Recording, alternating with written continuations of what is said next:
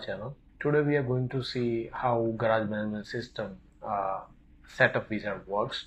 So we got a new design. We already had uploaded the video earlier, but this is with the new design. The new design brings up a lot of uh, user interface improvement. It will give you a lot of energy when you use it because you know, there are things that are simplified.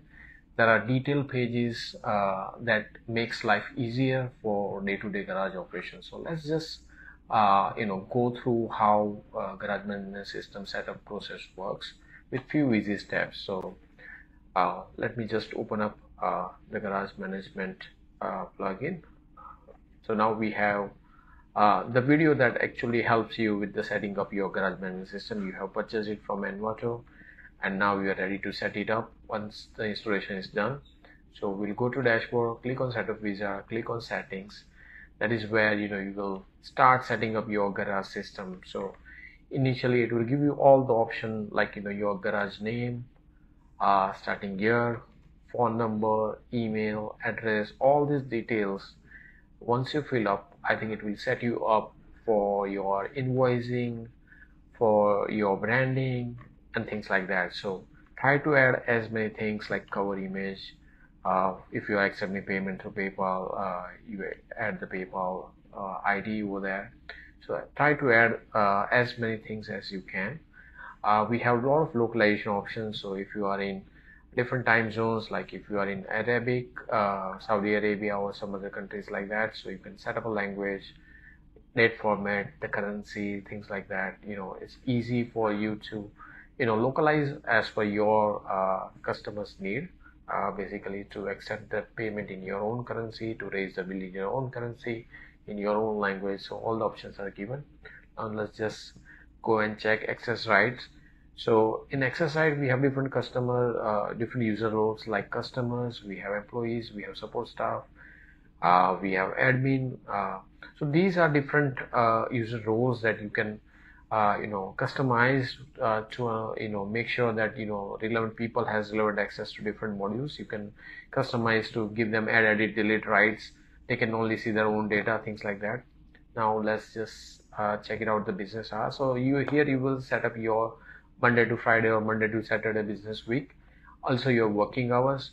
And you know you can also set up a, you know your day off like saturdays and sundays are your day off. Or maybe if you are working on some saturdays you can also add that as well over here. You can also define the holidays that you're going to have. Like you know you have christmas holiday or you have diwali holiday. You can add over here so that you know uh, you know make sure your customers are aware that you are closed so you don't uh, you know get any booking for your car repairs.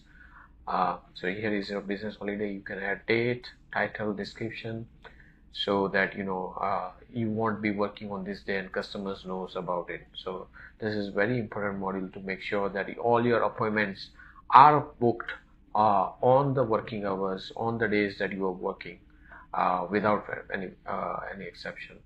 So let's just add uh, a good friday as a holiday and you know uh, set up hours. So 9 to 7 or 9 to 5 whatever working hours you want to set up.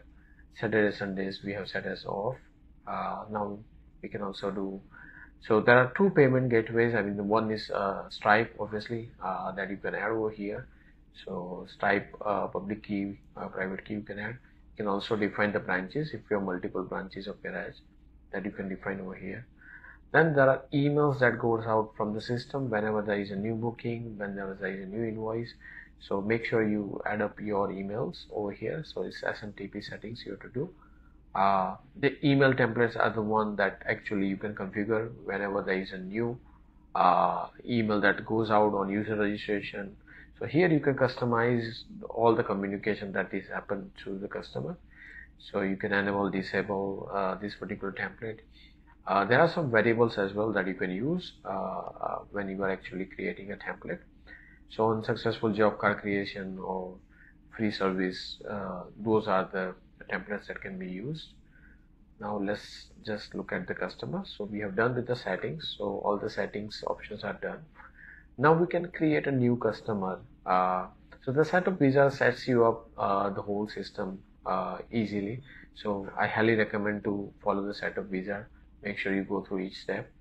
Let's just add a customer's first name last name mobile number then email address. You can also define the password. The password once the customer receive it they will be able to log in and then change the password obviously. But at the uh, in, initially you want to give them the password so they are aware of uh, what is uh, their user credential. There are some required fields obviously like date of birth is optional field. Uh, if you want to add that's okay. If you don't that also is okay. So make sure you all fill all the required fields uh, and you know set up the system in a way that you know it can be used effectively. Uh, so you can also add the customer's display name their company name their phone number their tax id the country uh, they are from and things like that. So that will make uh, you know life easier whenever you are trying to retrieve the customer's detail. And once you set up the customer it will be able to easily add uh, their vehicles uh, their invoices uh, their service uh, for a particular car and things like that. So here we have added the customer now if we click on that customer detail page looks like this where you can add the vehicles for that particular customer. So let's go back and you know complete the setup wizard. Now we can add employee. So the employees would be your technicians or you know your support staff uh, who would manage the appointments and you know do the car repairs and all those things. So you will able to assign particular uh, car repair service to any employees that you create over here. We will add the first name last name email obviously we'll create the password as well. Uh, so as you can see there are required fields and there are some optional fields. So make sure you fill up all the required fields marked by star over here. Uh, and then you have you know mobile number and things like that. And you know uh, just add their address. So we have what record whatever uh, their physical address is. You can also upload the uh, you know employee's image if you want to so that's a good option to recognize any employee. This is employee detail page looks like so it has all the options that we have added. Uh, now just go back to setup wizard. now let's add a supplier. So supplier is a crucial part because you might have the inventory within your garage. Uh, so whoever is supplying you this inventory uh, we can add them. So the supplier will supply uh, the branded products. So you know the supplier will be your someone your local uh, company so we'll just add their first name last name mobile number again uh, and their address. Uh, so we can also if you want to you know raise a purchase order something this will be used uh, when the purchase order is raised for them. So now we just added a supplier uh, and you know here's how it looks like. You know this is a supplier detail page. Now just let's just go back to setup wizard.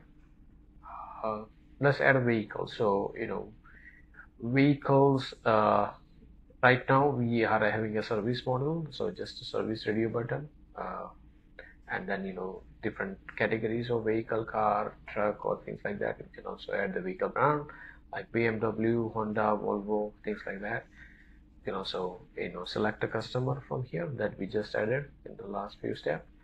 So we'll select the brand we added then you know add the model number for their particular brand uh, the year of manufacturing for that particular car. So odometer reading obviously this is useful when you are doing a service. So 1000 kilometers uh, was the reading for example. And there are some optional fields if you want to add that would be good. Otherwise you can just leave them blank. Uh, you can also upload the car images uh, because if they are having some dents and things like that you can use the car images over here and we just done with the details. Now we can just click on submit button. So now we have added successfully that particular vehicle with the plate number and everything is coming up now. So here is a Volvo V40 car that we just added some photographs as well. So this is very handy when you are actually identifying the car and doing the service because you want to know the brand the model number and everything because it has certain uh, way of con conducting the service. So now we are done with the vehicle now we can just add particular products like you know you might have the spare parts uh, in your garage in your inventory. So you might have the separate you know wheels batteries harness uh, so you can add them as an inventory. So let's just create one particular uh, so we are going to add the tires the wheels inventory over here right now. So Apollo is the brand uh, tire is our product with supplier we just added so we can just add the supplier details over here. Whatever the color of the tires we are having things like that. There are optional fields obviously. Uh, some you can leave blank some you want to use. So we'll just add the product image so it's easy to identify from our store.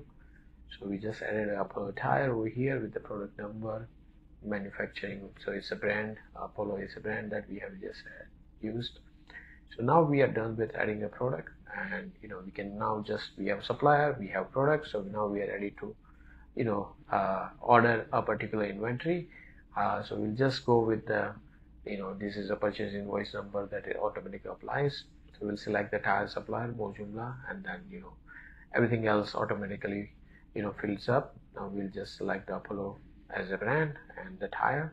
We'll add the quantity like if we are uh, you know uh, ordering 100 tires you will quantity as 100 uh, the price and everything comes up automatically based on our product definition. So we have just raised a purchase order for Mojoomla so they will receive the purchase order in the email and then they will give us this inventory which will uh, will add in our system as a intake of the inventory.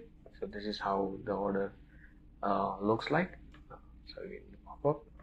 Now let's just go back to dashboard again see what are the steps we have to complete. Uh, let's go to observation library. So this observation library is obviously the pain points that you know uh, like you know the this is mainly kind of uh, you know services that you you do. Like you know you wheel alignment wheel balancing uh, battery uh, uh, life check and things like that. So those are the checkpoints that we can add uh, so there are a number of things i highly recommend you add as many details as you can over here because this is more like a library that will be used when you create a job card. So you know for engine there might be different observation for wheels for uh, interior of the car there might be different checkpoints. So i highly recommend you add as much detail as you can there is a general uh, observation and there is per car model observation so you want to check out both of them. For now we have just added the general checkpoints. General checkpoints can be available for any type of car so you know that's the easiest way of creating observation points. Now just create one job car. So we just created uh, for the customer that we just created we have selected Volvo as a car and can assign a particular employee this particular car service click the MOT days and wash bay so that you know uh, both of the things needs to be done. MOT is your car fitness basically. So we just created one job card okay great. So we have first step create completed for uh, this particular car Volvo V40 that's now just came for the service. Now we'll just add some observation like you know if the car needs if the customer complains that the wheel alignment or wheel balancing needs to be done that can be added over here. So we'll just add kilometer odometer value that we can add.